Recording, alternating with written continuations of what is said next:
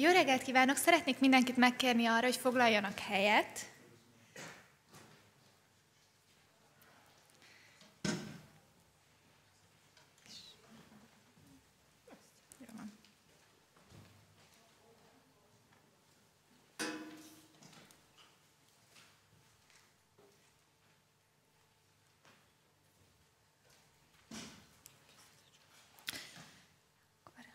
Szeretettel köszöntünk minden kedves érdeklődőt. Örülünk, hogy ennyien eljutottatok a konferenciánkra az Evangelikál Csoport Egyesület szervezésében ö, megrendezett teológusok párbeszédben konferenciára, ami évente kétszer kerül megrendezésre.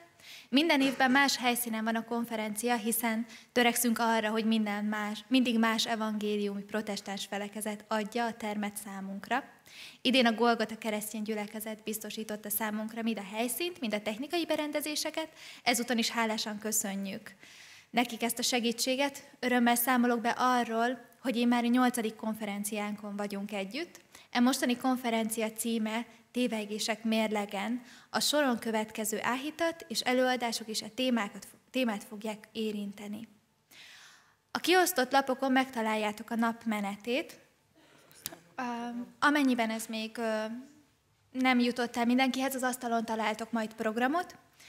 Kicsodán Miklós sajnos gyülekezeti teendői miatt nem tudott megjelenni, kimentését kéri.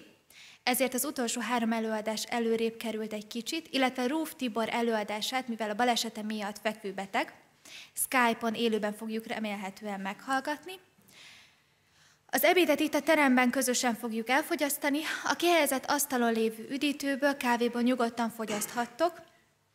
Az el, fogyaszthatnak az előadók és a vendégek is. Az Evangelikál Csoport Egyesület kiadványai korlátozott számban, ugyancsak az asztalon ö, megvásárolhatók, ott van kint. Ha valaki nem regisztrált, akkor kérjük a szünetben tegye meg ezt, és ugyanígy rendezze az ebéd költségét is.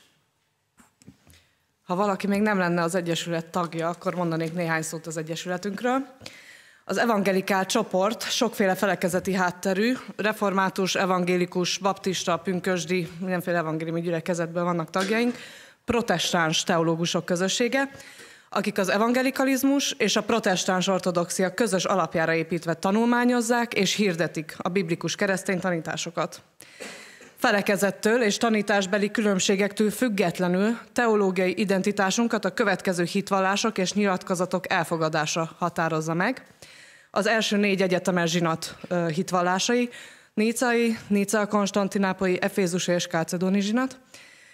A Niagara Biblia konferencia által 1910-ben deklarált öt fundamentum, ugye ez a Szentlélek inspirált a Szentírás, a Szentírás tévedhetetlensége, Krisztus szűztől való születése, hit abban, hogy Krisztus halála váltság, engesztelés és jóvátétel a bűnökért, Krisztus testben való feltámadása és Krisztus csodáinak történelmi valósága.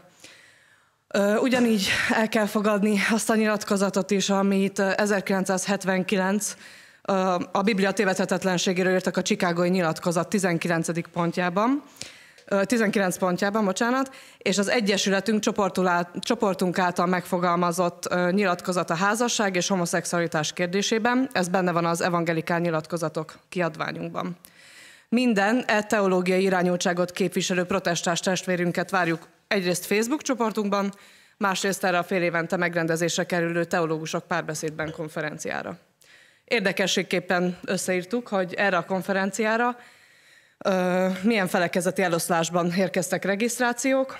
15 református, 10 Golgota gyülekezeti tag, a híd gyülekezetéből 8-an, baptisták 11-en, evangélikusok 7-en, a szeretett közösség teljes evangéliumi gyülekezetből 5-en, ketten metodisták, egy pünkösdi tag, új reménység gyülekezetből egy ember, a testvérgyülekezetből is, az evangéliumi barátság egyházból is egy, és partikuláris baptista is egy van ma jelen elvileg.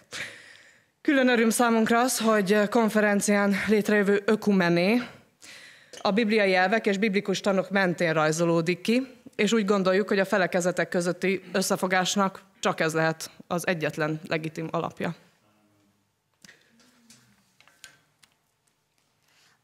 Alkalmunkat pedig igen, egy kis se vagy.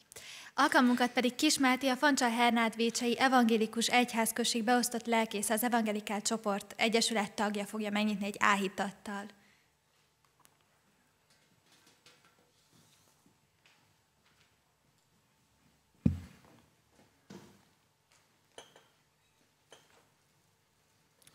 Csendesedjünk el egy imádságra.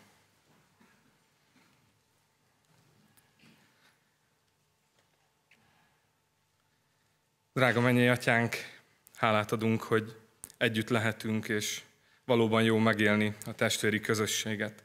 Köszönjük a Te igédet, és kérünk légy jelen szent lelkeddel, ad, hogy személyes legyen számunkra a Te szavad, ad, hogy épüljünk ezen a konferencián, és kérünk, Urunk, hogy hadd legyen minden a Te dicsőségedre. Amen. Kegyelem néktek és békesség Istentől, a mi atyánktól, és az Úr Jézus Krisztustól. Amen. Hallgassátok meg azt az igét, amelyet a, az áhítatra hoztam, mert megírva találunk második Timóteusi levélben, a harmadik fejezetben, az első verstől a tizenhetedik versig. Azt pedig tudd meg, hogy az utolsó napokban nehéz idők jönnek. Az emberek ugyanis önzők, pénzsóvárak lesznek, dicsekvők, gőgösek, istenkáromlók, szüleikkel szemben engedetlenek, hálátlanok, szentségtelenek, szeretetlenek, kérlelhetetlenek, rágalmazók, mértéktelenek, féktelenek, jóra nem hajlandók, árulók, vakmerők, felfúvalkodottak, akik inkább az élvezeteket szeretik, mint az Istent. Az ilyenek a kegyesség látszatát megőrzik ugyan, de annak az erejét megtagadják. Fordulj el tehát ezektől.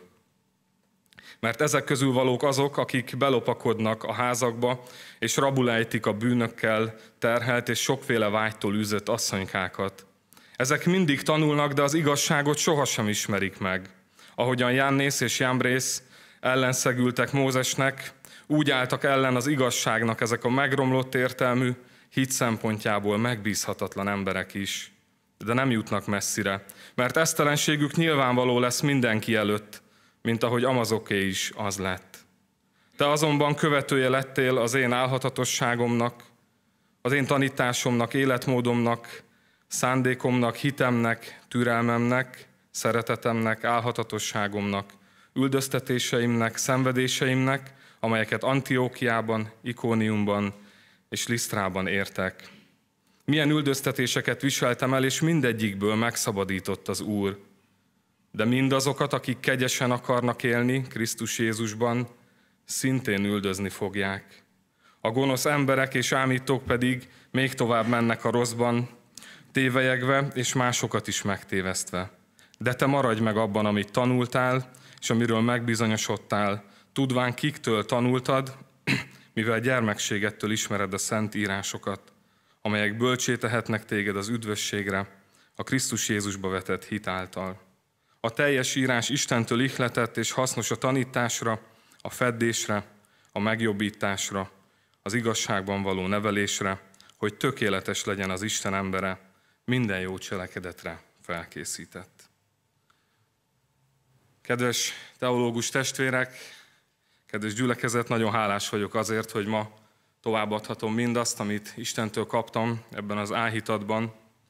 És hadd kérjem most tőletek azt, hogy legyen nyitott a szívetek olyan értelemben, hogy ne csak teológiailag nézzétek, hogy helyes amit mondok, persze nyugodtan ítéljétek meg, de engedjétek azt is, hogy Isten bátorítson, szóljon hozzátok, hogy eljuttassa mindazt az üzenetet ne csak az áhítatba, hanem bizony az egész konferencián, hogy megújulhassatok, hogy megerősödhessetek mindabban, amit tanultatok.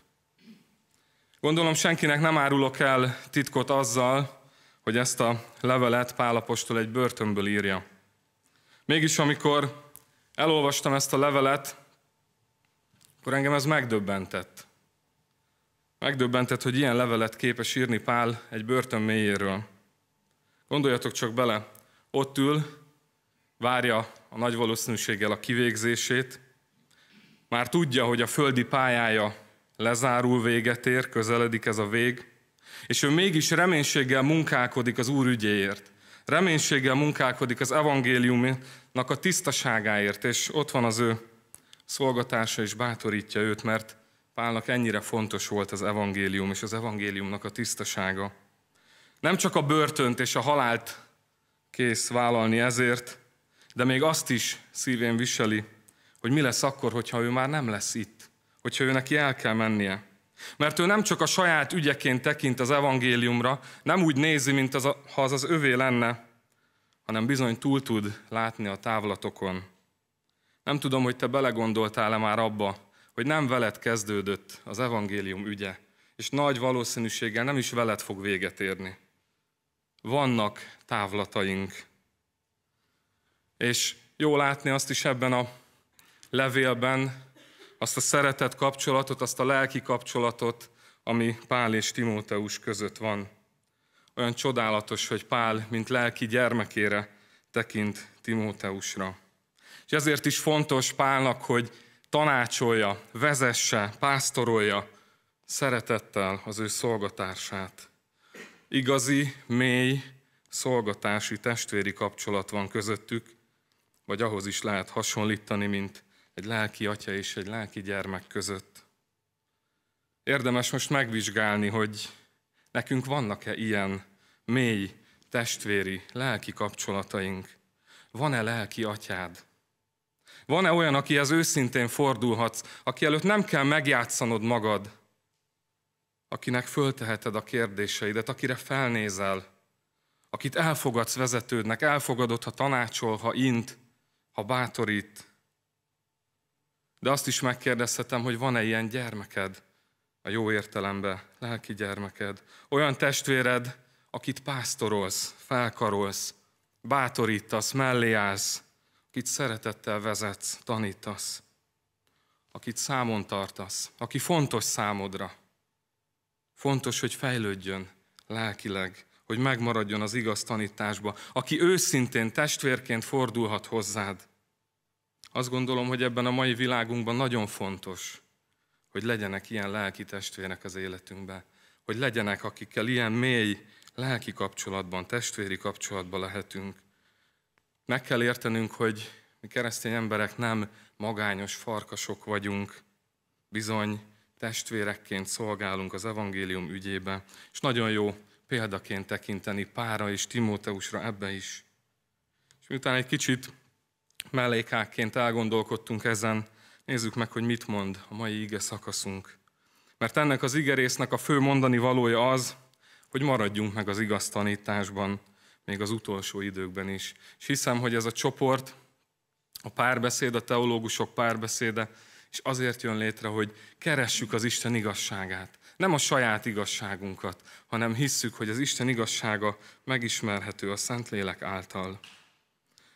Azt mondja az igénk, hogy maradjunk meg ebben a tanításban, akkor is, azokban az időkben is, amikor az embereknek a magatartása már nagyon eltorzul. Nézzük meg, hogy mit mond ezekről az időkről az apostol. Az emberek ugyanis önzők, pénzsóvárak lesznek, dicsekvők, gőgösek, istenkáromlók. Szüleikkel szemben engedetlenek, hálátlanok, szentségtelenek, szeretetlenek, kérlelhetetlenek, rágalmazók, mértéktelenek, féktelenek, jóra nem hajlandók, árulók, vakmerők, felfuvalkodottak, akik inkább az élvezeteket szeretik, mint az Istent. Kedves testvérek, hogyha nem tudnám, ha nem tudnám, hogy ezt már jó régen leírták a Bibliába, akkor akár nyugodtan lehetne a mai világunknak a korképe is, amit ez az ige elénk tár. Nyugodtan mondhatnánk azt, hogy ez egy tökéletes korkép a mai világról. Mert ha körbenézünk, akkor szinte szóról szóra ezt tapasztaljuk a világban. Csak ennél még kiábrándítóbb a helyzet, mert nem csak a világról ír, sőt, ez az ige elsődlegesen nem a világról ír, hanem olyan szakasz, ez a szakasz olyan emberekről beszél, akik magukat, magukat hívőnek tartják, kereszténynek tartják, a kegyesség látszatát megtartják ugyan, és mégis így élnek. Szokták mondani statisztikai számként, hogy körülbelül 2,2 milliárd keresztény ember él a világon. Ez 2010-es adat, tehát nem tudom, azóta lehet, hogy változott a szám. Tehát körülbelül 2,2 milliárd ember él, aki valamilyen szinten kereszténynek vallja magát. Krisztus követőnek, de vajon a szívük és a cselekedeteik miről beszélnek? Most csak egy pillanatra gondoljunk ebbe bele, hogy 2200 millió ember őszintén, komolyan venné az Isten ügyét.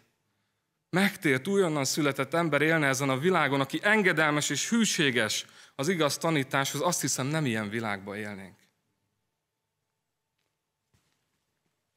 Persze, jellemző ránk, emberekre rám is jellemző, hogy jobban szeretek a másik ember életébe kutakodni, mint a sajátoméba. És könnyű kifelé tekinteni. Egyébként ezért olyan sikeres a bulvár és a celeb világ, mert az emberek imádnak vájkálni a más ember életébe. Mert mindig könnyebb a másikat megvizsgálni, a másikról kiállítani a szegénységi bizonyítványt, mint tükörbe nézni és magunkat megvizsgálni. Kedves testvérek, mi ne kövessük el ezt a hibát. Ne menjünk le a keresztény bulvárba. Ne a másik ember életét vizsgálgassuk. Ne az ismeretlen emberek fölött szörnyülködjünk, hanem először kezdjük magunkkal. Tehát az ige arra is kell, hogy indítson minket, megvizsgáld magad, hogy megvizsgáljuk magunkat. Első, én kereszténynek mondom magamat? Én Krisztus követő vagyok? Ha erre igen a válasz, és remélem az itt ülőknek a többsége azt mondja, hogy igen, akkor vajon miről beszélnek a cselekedeteink? Miről beszél az életed? Mi lenne akkor, ha nem tudnál beszélni, ha nem tudnál kommunikálni, nem tudnál írni, nem tudnál prédikálni, vajon észrevennék-e az életedből, a cselekedeteidből az emberek, hogy keresztény vagy? Nem a szavaidból, nem abból, amit írsz, hanem ahogy élsz. Persze mi tudjuk, és helyes, hogy tudjuk, nem a cselekedeteink üdvözítenek minket, ez így van. Viszont az egyértelmű a Szentírásból, hogy bizony, ha mi megtértünk, és az Úr Jézus Krisztus, a mi életünk ura, akkor Isten elkészített benne a Szentlélek által jó cselekedeteket. Az Efézus 2-ben talán mindannyian jól ismerjük a híres ige szakaszt, hiszen kegyelemből van üdvösségetek a hit által, és ez nem tőletek van. Isten ajándéka ez. Nem cselekedetekért, hogy senki se dicsekedjék. Azt hiszem, hogy eddig szinte mindenki ismeri ezt a szakaszt. Sokat idézzük, sokat mondjuk helyesen. Beszéljünk is róla, gyönyörű ige. De van folytatása ennek a szakasznak. Mert az ő alkotása vagyunk, akiket Krisztus Jézusban jó cselekedetekre teremtett, amelyeket előre elkészített Isten, hogy azok szerint éljünk. Tudjátok, ez a keresztény életpálya. Kegyelemből megkapod az üdvösséget hitáltal, és elindulsz az előre elkészített jó cselekedetekbe, és ez szerint élsz. A mostani igénk arról beszél, hogy lesznek olyan emberek, akik bár magukat kereszténynek tartják, és mégsem így élnek.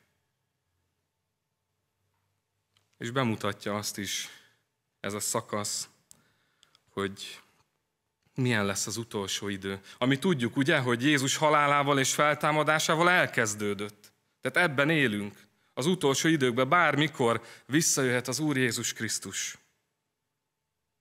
És azt látjuk, hogy bizony, még azok, akik magukat kereszténynek mondják, azok is elfordulnak az Isten igazságától. Tanulnak, kutakodnak, sürögnek, forognak, tesznek, vesznek, itt vannak, ott vannak, csak éppen a lényeget, az Isten igéjét, az Isten erejét, az evangélium igazságát veszítik el, azt mondja az ige. És olyan szomorú, olyan szomorú helyzetkép, és mégis annyira reális. Nézzünk nyugodtan körbe magunk körül, nem ezt látjuk? Nem ez van ma is? Megszámlálhatatlan sok olyan ember van, aki egyébként magát kereszténynek mondja, de az evangélium igazságát megtagadta. Az Isten erejét elveszítette. És tudjátok, mit tanácsol az apostol Timóteusnak? Én megdöbbentem rajta. Azt mondta, azt mondja, fordulj el tehát ezektől. Nem azt kéri, hogy vitázzak velük? Nem. Még csak azt sem kéri, hogy mossam le őket a színről, tüntessem el őket. Nem. De megdöbbentő, hogy azt sem kéri, hogy szeretetben hordozzam őket. Azt mondja, még egyszer mondom, fordulj el tőlük. Ne légy velük közösségben. És ez nem azt jelenti, hogy az igazság mellett ne álljon ki valaki. Nehogy félreértsük a dolgot. De egy közösségen belül nem kell neked győzködni a másikat. Nem azt jelenti, hogy nem imádkozhatsz érte, persze. De ne vállalj vele közösséget, fordulj el tőle. Azt mondja Pál, az igazság majd úgy is utoléri őket. Nem jutnak messzire, mert esztelenségük nyilvánvaló lesz mindenki előtt. Mondom, ez egy megdöbbentő kérés, megdöbbentő kijelentés, és szerintem nehéz kérés is. Mert sokszor, én most magamról beszélek, én akarok lenni az igazságosztó. Én akarom megmondani, hogy mi az igaz. De hagyjuk meg, hagyjuk meg ezt Istennek. Higgyük el, hogy ő kezében tartja a dolgokat. Nem csúszott ki a kezéből az irányítás. Ne essünk abba a hibába, hogy úgy védelmezzük az evangéliumot, mint hogyha csak a saját igazunkat akarnánk védeni. Azon nem lesz áldás. Csak abba a harcba álljál bele testvérem, amiben Isten beleállított. Amiben küldés, amiben veled van. Pál azt tanácsolja Timóteusnak, hogy ne az ellenszegülőkkel foglalkozzon, hanem te maradjál meg abba, amit tanultál. Az igazsághoz ragaszkodjál. Az legyen a fontos számodra. Ismerjük talán jól ezt a példát, hogy a pénzhamisításnál, amikor, amikor vannak, akik ezt vizsgálják, akkor nem a sok hamisítványt próbálják feltérképezni, hanem minél jobban az igazit akarják megismerni, mert aki ismeri az igazit, rögtön felismeri a hamis pénzt. Ezt mondja tulajdonképpen Pál Timóteusnak. Te maradj meg abban, amit tanultál, és amely, amiről megbizonyosodtál, hiszen jó alapokról kaptad, tudván, hogy kiktől tanultad. Mivel gyermekségettől ismered a szentírásokat, milyen csodálatos lehet Timóteusnak, hogy ifjú korától ismeri az írásokat amelyek bölcsé tesznek. Nem magadat teszed bölcsé, hanem az írások tesznek bölcsé téged az üdvösségre, a Krisztus Jézusba vetett hit által. Itt kezdődik a hitvédelem, és innen megy tovább. Innen folytatódik, innen indul az igazi harc a tiszta evangéliumért. Maradj meg abban, amit tanultál. Mert nem arra mutat Isten igéje, hogy hogyan hadakozzam a hamis tanítókkal szembe, az igazságot elhagyó emberekkel szembe. Nem erre ad útmutatást, hanem arra, hogy mi lehet az én alapom ebben a harcban.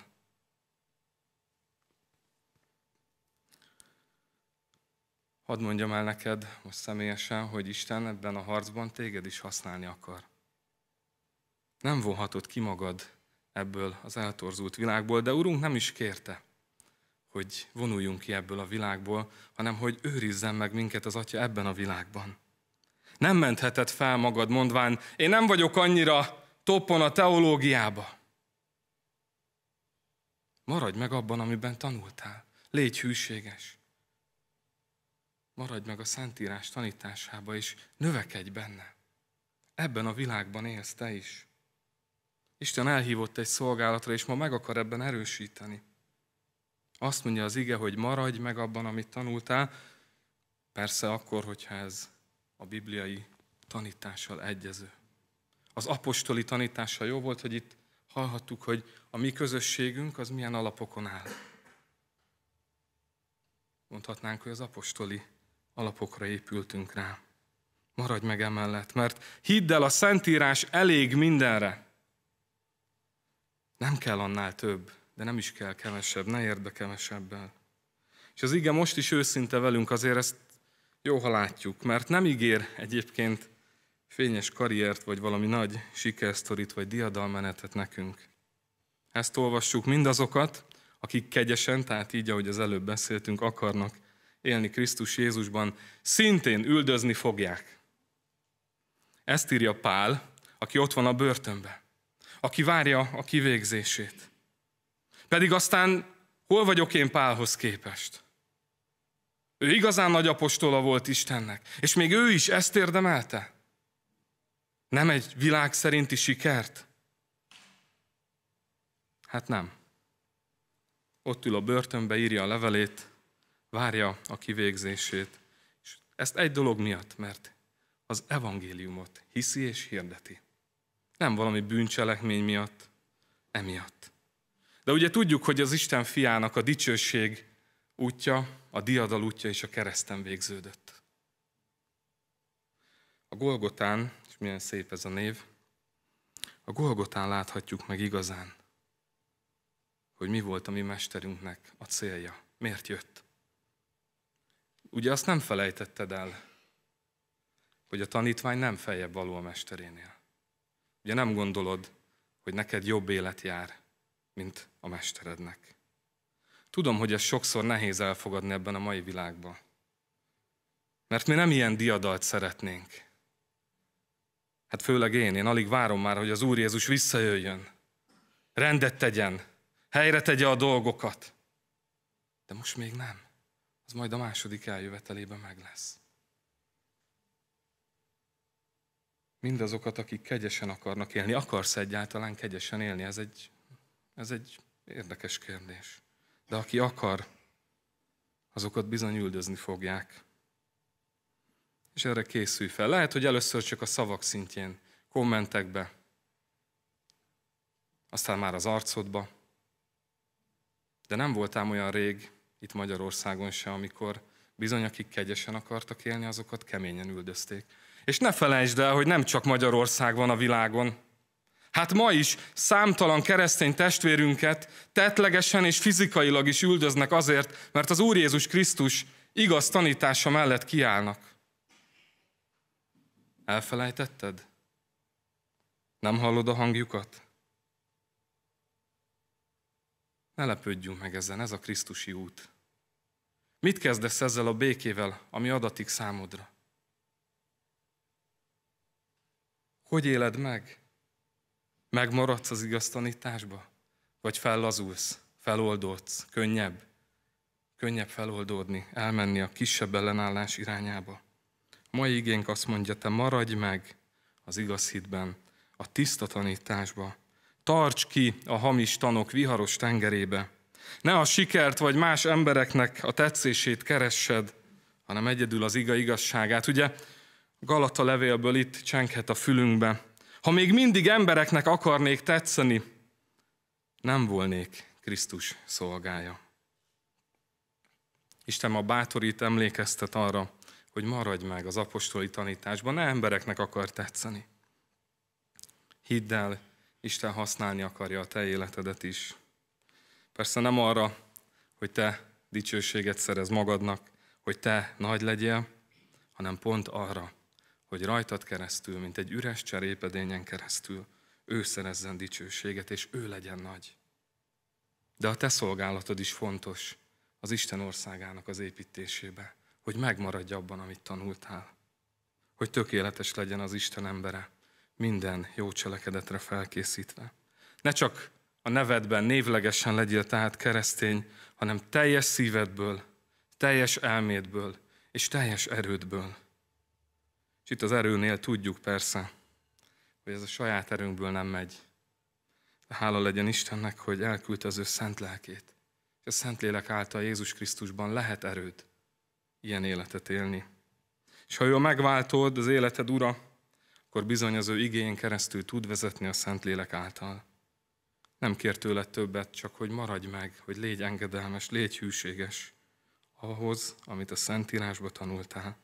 Hadd bátorítsalak én is zárásként ezzel titeket az ige utolsó szavaival. Maradj meg abban, amit tanultál, és amiről megbizonyosodtál.